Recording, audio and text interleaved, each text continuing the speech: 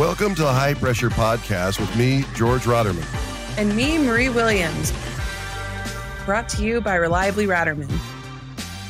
Bringing you industry news and trends, plus insightful conversations with industry leaders. Let's get to today's show.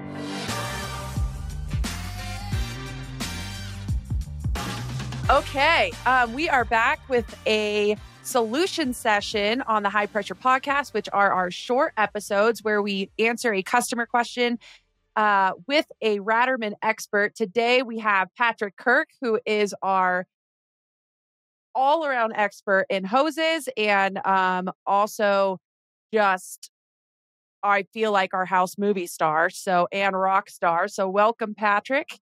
Thank you, Marie. Thanks for uh, coming on and helping us answer some questions about vacuum jacketed hoses. No problem. Um, yeah. So I'm going to jump right into the customer question. It says, uh, Hi, Jennifer. I'm looking into vacuum jacketed hoses for a cryogenic application and wanted to get your input on the benefits and when they might be the best option. Also, I'd appreciate any information on how the cost compares to other hoses. Thanks for your help. Good. Well, yeah. thank you very much, first of all, for having me. And uh, let, let's start off by just saying what is a vacuum jacketed hose? Um, I use this hose from time to time. This is a liquid transfill hose. And this is a very common hose in fill plants used for transfilling liquid cryogenic product. Um, this part of the hose right here is corrugated stainless steel. They put the braid around the outside of that to give you pressure carrying capacity. So, for an uh, example, two layers of stainless steel on top of here will give you 3,800 psi pressure. If you put six layers, I can get this hose up to 4,800 or 6,000 psi.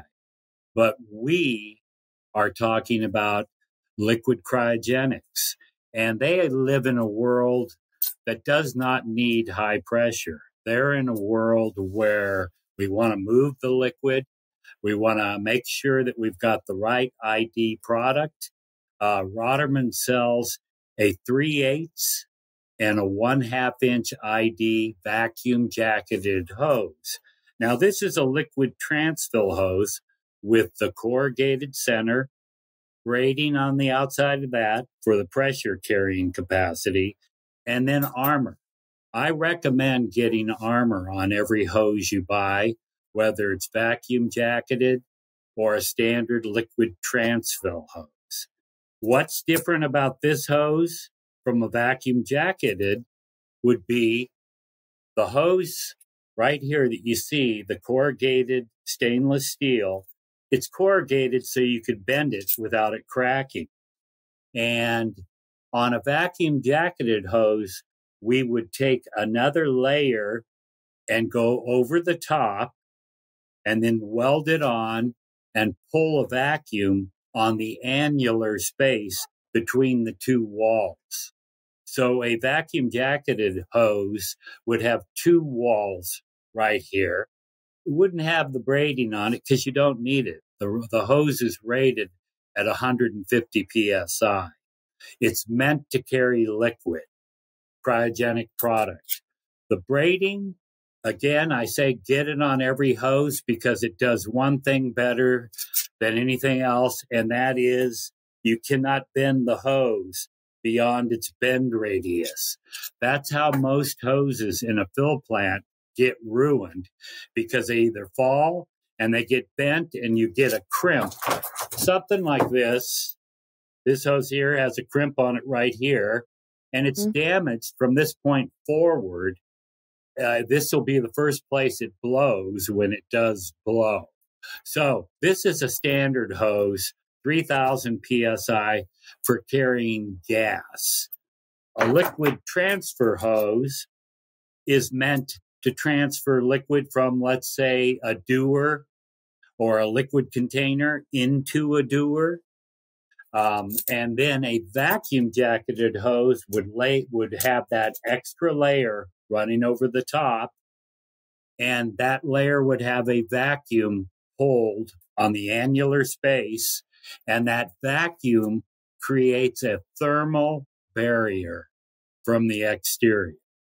So when would I want to use the uh, vacuum jacketed hose? Like, what are a few examples of, okay. of good application? Um, I would say the number one application for a vacuum jacketed hose is anywhere that you're um, anywhere that you need large quantities of of cryogenic product. For example, a cold box. Um, I'm thinking of a company such as uh, Aerospace, Boeing, has a lot of these cold boxes in their engineering facility. And what they do in these cold boxes is they they'll they'll make them extremely cold for a certain period of time and then they'll heat them up for a certain period of time and they'll repeat that cycle over and over and that simulates how the hose would be used on say a jet or a rocket Oh. And the doing the temperature difference simulates what it could be exposed to on a daily basis. So mm-hmm. if the part has a weak component, it will typically come up during these testing that they're doing. They call it HALT HALS, high altitude life testing. And that's how the aerospace industry uses liquid cryogenics. Got it. So I was at a customer facility um, and the drivers were coming back. So I was seeing that the, hoses that the drivers use, um, and they were all beat up and kinked up. And they were like, yeah, we really probably need to buy vacuum jacketed hoses, but they seem to be, you know, heavier when they ice up. What are your thoughts on drivers using vacuum jacketed hoses versus not? I would not recommend that only okay. only because um, they are expensive. They're mm-hmm. much more expensive. You had asked me earlier what what price difference is. A hose like this, which is meant to transfill mm-hmm. liquid mm-hmm. from a liquid container into a dewar, this hose cost about two hundred and fifty dollars. Okay. The same hose, same length, six foot long, will be will cost a little under a thousand dollars. So there's a big difference in price. Um, the guys on the trucks that are out in the field, um, they they could use a vacuum jacketed hose, but I would say it's a little bit of overkill for that the application they're using it in. So, in what specific industries or applications would you say a vacuum jacketed hose is essential? Probably the most uh, popular would be the aerospace industry. Uh, the biotech industry uses vacuum jacketed hoses, semiconductor, food and beverage, pharmaceutical, and the medical equipment and industrial equipment use liquid cryogenics. What kind of applications? Like I said before, cold box applications for testing of components, shrink fitting of components. Um, there's a like many different applications that you can use cryogenics to achieve the goal that you're looking for. Absolutely. Okay. And uh, when would you recommend using a vacuum jacketed hose over other types of hoses, particularly for cryogenics or extreme temperature environments? Anywhere that you're using a, a large amount of cryogenic product, the name of the game is uh, when you're losing, when you have a heat loss, and a heat loss is caused by, let's just say, a liquid transfill hose can transfer cryogenic product, but it doesn't do it very efficiently. Why? Because there's a huge, huge heat loss that takes place as the hose is moving through the hose. A vacuum jacketed hose creates a thermal barrier that holds the cryogenic product over a longer length of time.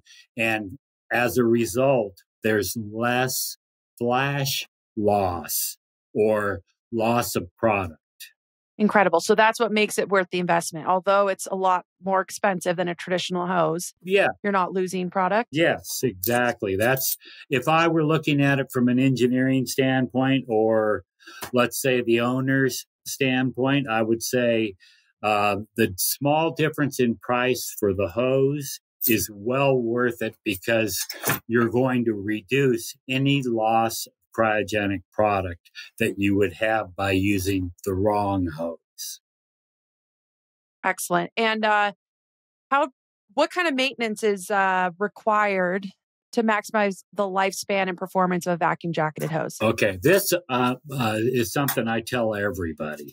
Maintenance wise, um, all I would say very little, Marie. Um, maintenance on a, a vacuum jacketed hose, again, if you install it in a spot where it's not going to move, and it's what I tell people all the time is avoid severe bends.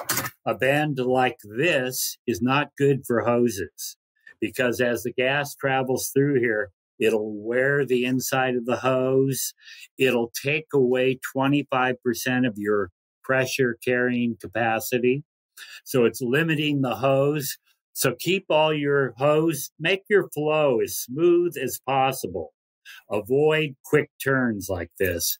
As far as maintaining it otherwise, there's really nothing that you need to do to it other than make sure you get armor on the outside. And that will prevent anyone from being able to bend it mm-hmm. beyond mm-hmm. its bend radius. With armor, um, basically you won't have to do any maintenance to it other than keeping it clean keeping it uh, stored away in a very clean spot and then when you bring it out and hook it up the next time you need it it'll work like brand new. Well i can't thank you enough patrick for all your uh, hose wisdom and if you are a customer of Ratermann manufacturing and have questions about hoses um, please give us a call. Patrick is available to you um, additionally, we can pretty much get you any type of hose and length that you need for your application. So uh, please reach out to us. And I also want to mention a really great tool that we have um, that I, I haven't seen anything like it. I don't know how you feel, Patrick, but our hose builder on our website, rmiorder.com, go to our hose builder and you can build out your hoses and it will only let you um, select the correct fittings and hoses based on the application that you're trying to use. So you'll build a safe hose for your application and the correct hose for your application. And it's very seamless to use that tool. Yes, you know, Marie, I've never told you this, but I've used the hose builder several times. I think it's an awesome program. And so right? I, I would highly recommend anyone out there, if you want to research hoses, um, feel free to call me or go on the hose builder. You can build your own hose for whatever the application is, and you'll find that it gives you a drawing of what it looks like along with the part number so you can order that hose and get exactly what you want. Well said. All right. Well, thank you, Patrick. And um, I look forward to talking to you next time. All right. Thank you, Marie. Thank you. Thanks for watching. Stay up to date with the latest news in the gas and welding industry by clicking on the subscribe button. And check out one of our other videos to learn more. Find out more about Reliably Ratermann at rmiorder.com.